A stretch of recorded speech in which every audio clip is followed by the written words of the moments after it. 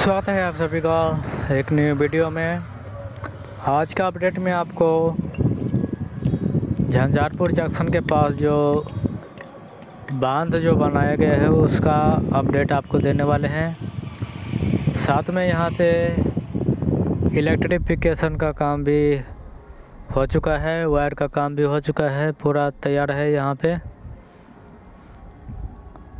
और यहाँ से पश्चिम की तरफ़ कमला बलान नदी है, जो यहाँ से 500 मीटर दूर है।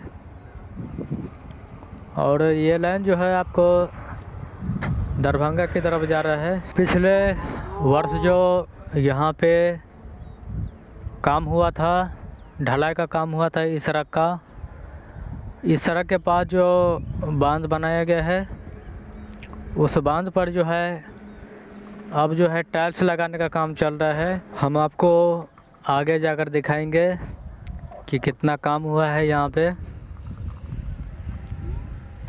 काफ़ी वर्कर्स जो है यहाँ पे लगे हुए हैं।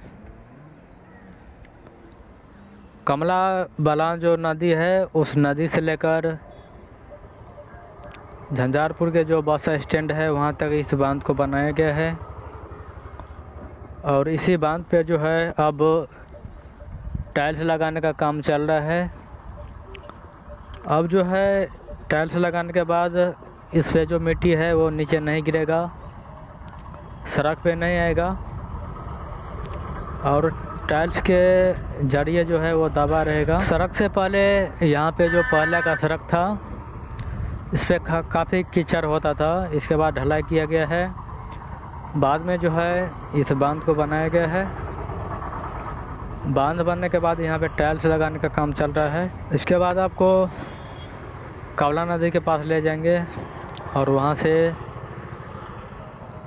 इस जंक्शन तक जाएँगे। और इस बीच में कहाँ कहाँ पे कितना काम हुआ है, आपको सभी अपडेट देने की कोशिश करेंगे। यहाँ पे गाड़ियों का जो आवागमन है, वो काफ़ी तेज़ हो चुका है। और यहाँ पर जो है, आगे कमला नदी है और यहीं से लेकर पूर्वी साइड का जो बाँध है कमला नदी का, जो जयनगर से लेकर ठंगा रसियाड़ी तक जो बाँध बनाया गया है, उसी बाँध में ये बाँध जाके मिल जाता है।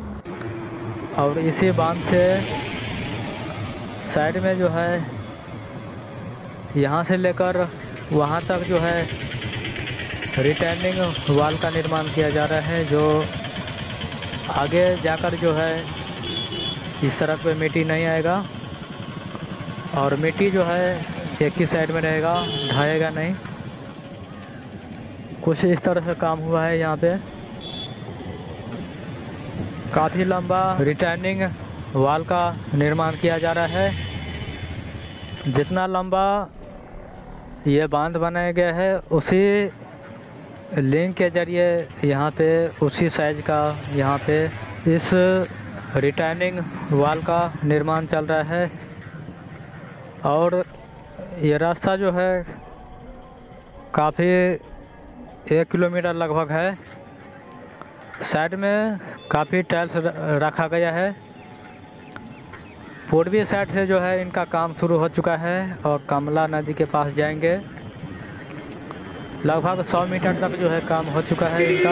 ये रास्ता जो है, इस पर आप भारी वाहन जो है, नहीं ले जा सकते हैं। ट्रक हो, बस हो या ये भारी वाहन जो है, आप इस पर नहीं ले जा सकते हैं। इनके लिए आपको एन एच से जाना होगा। इसके बाद दो तीन साल के बाद जो है, बगल में एक नया ब्रिज बन रहा है, उस पर आप ले जा सकते हैं। तो यहाँ पे काफ़ी धुआंधार तरीके से काम चल रहा है, काफ़ी वर्कर्स जो है लगे हुए हैं।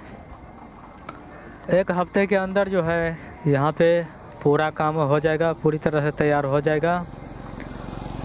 और फिर से मिलते हैं आपसे। नए वीडियो में, नए अपडेट के साथ। वीडियो को लाइक करें शेयर करें कमेंट करके बताएँ कैसा लगा। जय हिंद।